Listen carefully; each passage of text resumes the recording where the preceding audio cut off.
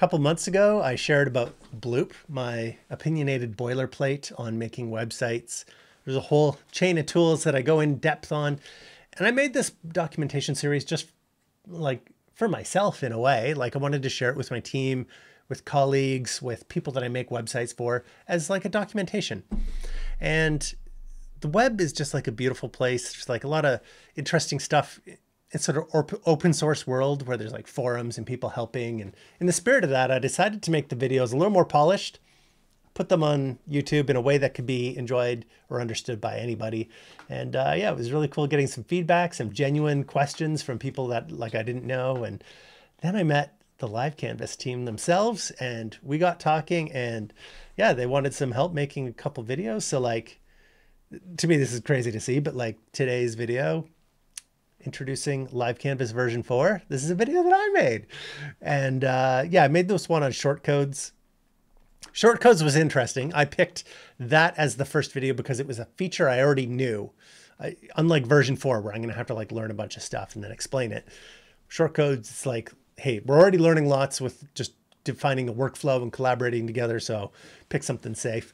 And then uh, I, I learned a few things that that I hadn't known before, or at least hadn't clicked for me. So I'm learning lots just by doing this. And I think it was uh, Richard Feynman who said, if you really want to learn something, teach it because that forces you to to learn it for yourself in a more deep way as you predict the questions that you're going to get. So really awesome. I'm really thrilled to be working with these people and on like on this really important tool in WordPress. Um, it is weird timing because there's been a lot of drama in WordPress the last six weeks.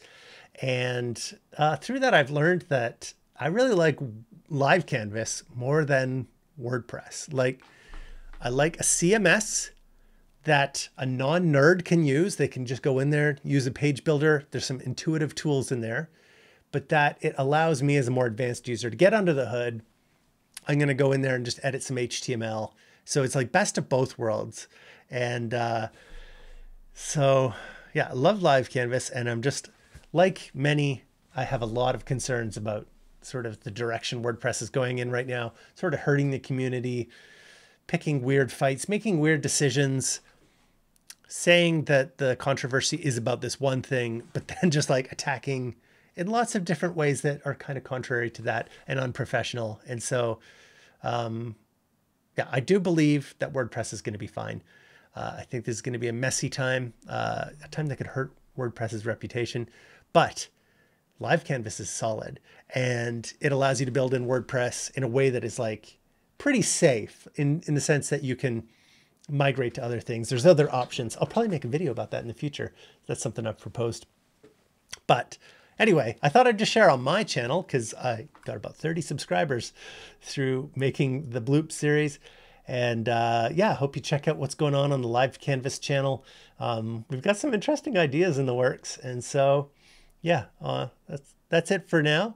But uh, for anybody who did like, comment, and subscribe or whatever. Thank you for that. I'm not a YouTuber. I'm not planning to be publishing stuff very steadily here or necessarily even on the same topic, but uh, yeah, it's just weird times. Um, anyway, if you're not following the WordPress drama, maybe don't for mental health. Maybe check on it once a week. That's what I'm trying to do. And um, yeah, I, I think it's a good time to set up an uptime monitor on your website if you haven't, because there's just been weird stuff happening. So, all the best.